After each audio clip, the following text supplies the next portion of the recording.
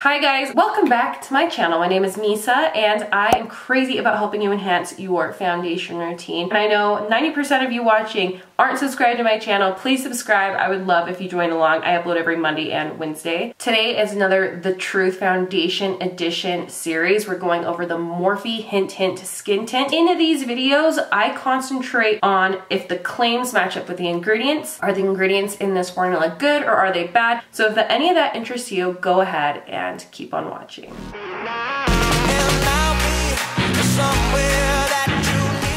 Okay, so this is a whopping $17. I love the glass packaging. It has like this little dropper. It has 20 different shades. When I was in the store, it was actually really hard to find a shade that matched me. I have a neutral undertone, medium to tan skin, and this is a hint of caramel. This is for tan skin with neutral undertone. So that's one of my complaints. I, I did not feel like they had enough undertones and enough shades. I don't know if it works different with skin tints, if they're more customizable. I'm not quite sure. This is a radiant finish. What's nice about this is you can use this really lightly sheer, a sheer coverage or a medium coverage. The other claims of this foundation is that it is lightweight and breathable. It's also non-comedogenic, which means it's not going to clog your pores. And those are the claims. And holy cow, guys, the ingredient list on this is super short. The first ingredient in this is water, very common. And then the second ingredient is isododecane. This is a good ingredient and it really helps to prevent moisture from leaving the skin. It minimizes color transfer and usually results in a matte finish. So you see this in a lot of matte products. In case you're new here, I get all of my information information from Paula's Choice Dictionary. They basically have a list there of all the ingredients that you can find on cosmetics and whether they're good, bad, poor, average, or best. So I'll have that linked down below. I'm not a medical professional, I'm not an esthetician,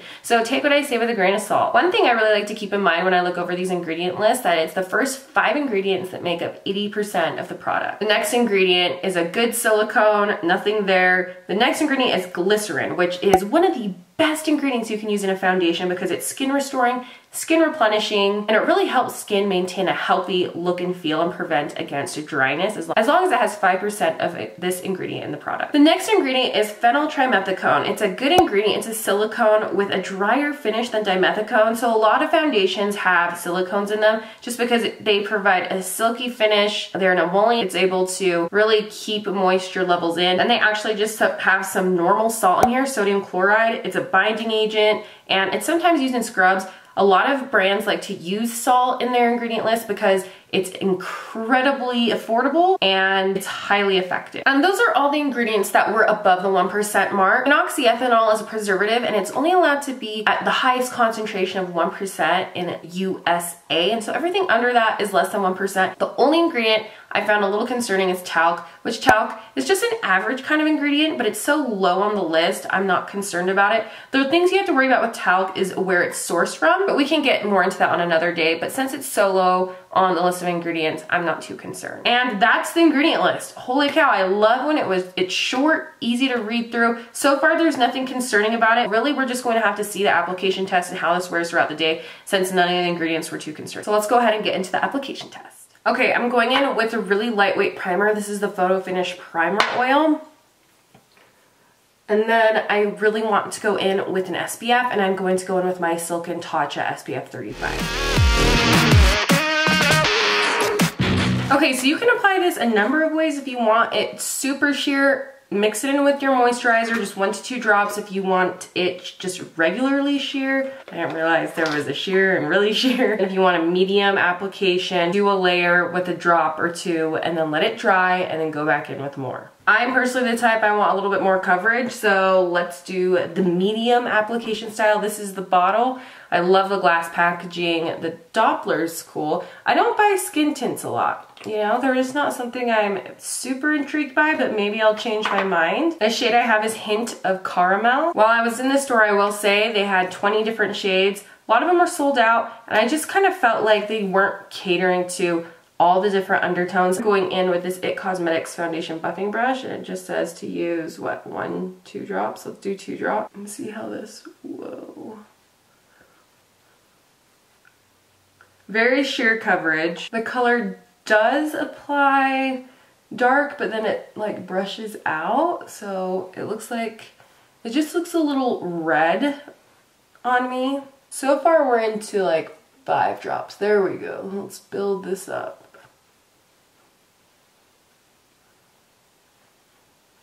Man, the shade.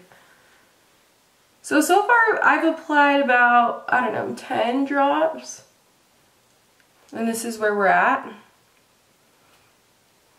So this is one full layer. I'm not quite sure what I think about it. Skin tints are so different for me because I'm just used to having that like a nice layer of foundation on. I do like that you can see my freckles.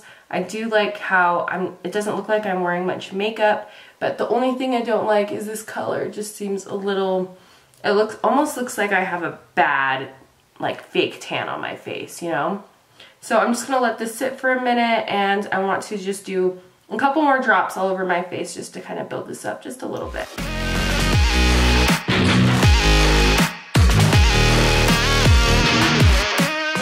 And this is where we're at. The finish is beautiful. It's like a nice velvety, like a nice natural glow coming through. I do feel like you're going to have to set this just a little bit, depending if it dries down or not with a light setting powder. I'm definitely gonna go in and apply some concealer, finish up the rest of my makeup, and see how it looks. All right, makeup is completely on.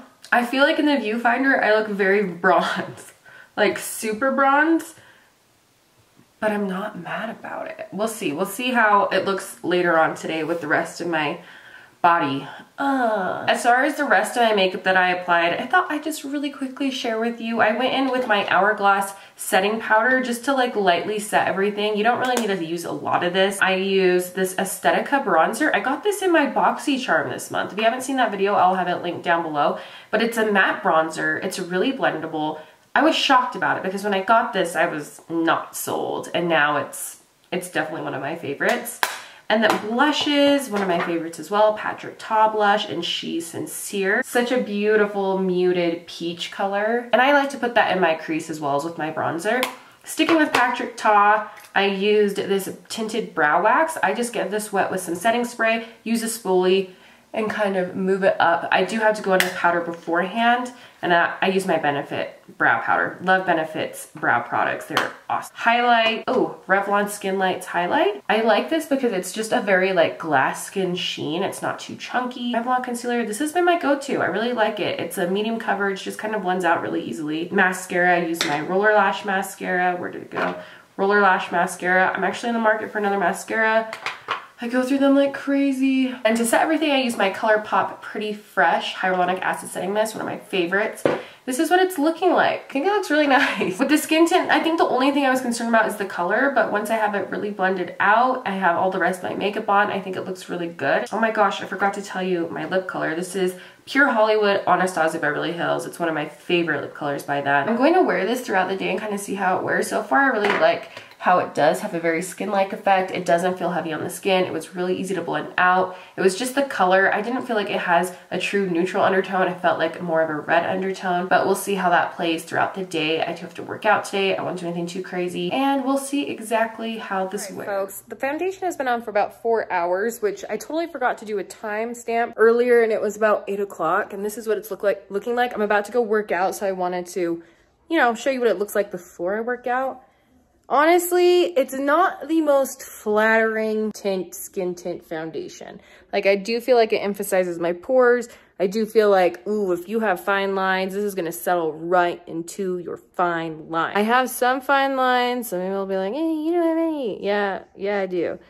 I have some right here. Like, it just kind of feels like it sits on top of my skin, which I really liked how it looked initially. I don't know, even from far away, I'm kind of like, eh. But we'll see what it looks like in about six hours at the end of the day and see exactly how it looks. All right, guys, final check-in. It is 5.05, so the, the foundation has been on for nine hours.